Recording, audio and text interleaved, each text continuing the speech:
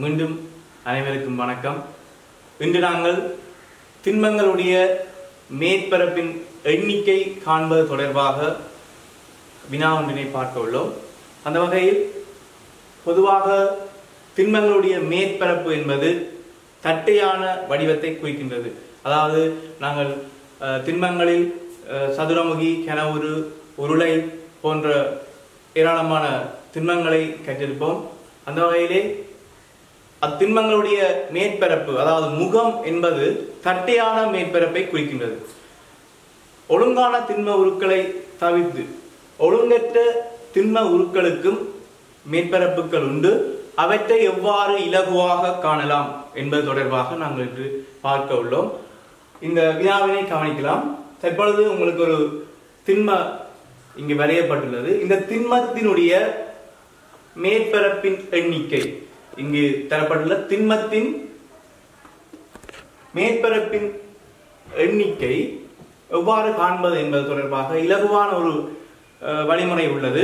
அதாவது நாங்கள் எங்களுக்கு தரப்படுகின்ற திண்மத்தினுடைய முன்பக்க தோற்றம் அதாவது இந்த இங்கு தரப்பட்டுள்ள திண்மத்தினுடைய முன்பக்க தோற்றம் என்று சொல்வது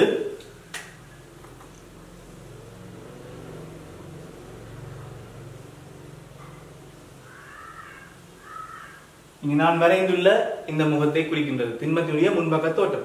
முன்பக்க தோற்றத்தினுடைய விளிம்புகளின் எண்ணிக்கையினை இரண்டுடன் கூட்டும்போது அதாவது முன்பக்க தோற்றத்தினுடைய இது முன்பக்க தோற்றம் இதனுடைய விளிம்புகளின் எண்ணிக்கை அதாவது விளிம்புகள் என்று பார்க்கும்போது ஒன்று இரண்டு மூன்று நான்கு ஐந்து ஆறு ஏழு எட்டு.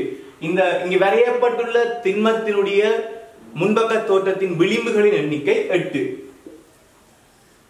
அதனுடன் இரண்டை கூட்டும் போது தரப்படுகின்ற திண்மத்தினுடைய முன்பக்க தோற்றத்தின் விளிம்புகளினுடைய எண்ணிக்கையுடன் இரண்டை கூட்டும் பொழுது இந்த தரப்பட்ட திண்மத்தினுடைய மொத்த மேற்பரப்புகளுடைய எண்ணிக்கையை நாங்கள் இலவாக காணலாம். எனவே இங்கு தரப்பட்ட திண்மத்தினுடைய முன்பக்க தோற்றத்தினுடைய விளிம்புகள் எட்டாக காணப்பட்டுள்ளது.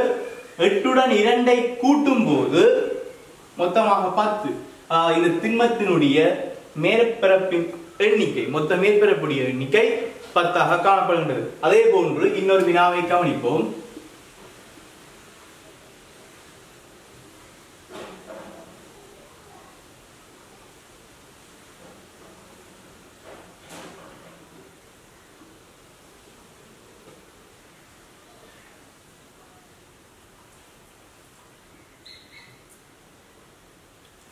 இங்கு இந்த திண்மத்தினை அவதானிக்கும் போது இந்த திண்ம திண்மத்தினுடைய முன்பக்க தோற்றம் இந்த இவ்வடிவமாகும். இவ்வடிவத்தினுடைய விளிம்புகளுடைய எண்ணிக்கையை எடுக்க வேண்டும்.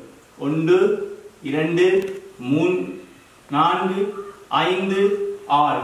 ஆறு விளிம்புகள் முன்பக்க தோட்டத்தில் கிடைக்கின்றன. அதனுடன் இரண்டை கூட்டும் போது இந்த திண்மத்தினுடைய மேற்பரப்பின் மொத்த எண்ணிக்கையை எங்களால் காண முடியும். எனவே இவ்வாறான திண்மங்களுக்கு நாங்கள் அந்த திண்மத்தினுடைய முன்பக்க தோட்டத்தின் விளிம்புகளின் எண்ணிக்கையோடு இரண்டை கூட்டும் போது அப் திண்மத்தினுடைய மொத்த மேற்பரப்பின் எண்ணிக்கையை இலகுவாக காண முடியும். மேலும் இச்சேனலில் பகிரப்படுகின்ற பதிவுகள் தொடர்பான கருத்துக்களை நீங்கள் கீழே பதிவு செய்யலாம். தொடர்ச்சியாக என்னுடைய அஹ், கல்வி தொடர்பான பதிவுகளை பார்வையிடுவதற்கு புலமை கலசம் என்னும் இந்த யூடியூப் சேனலை சப்ஸ்கிரைப் பண்ணுங்கள். சப்ஸ்கிரைப் பண்ணிய பின்னர் அருகிலுள்ள பெல் பட்டனை கிளிக் பண்ணவும் தொடர்ந்து நீங்கள் இதில் உள்ள கல்வி பதிவுகளை தொடர்ந்து பார்வையிடலாம். நன்றி.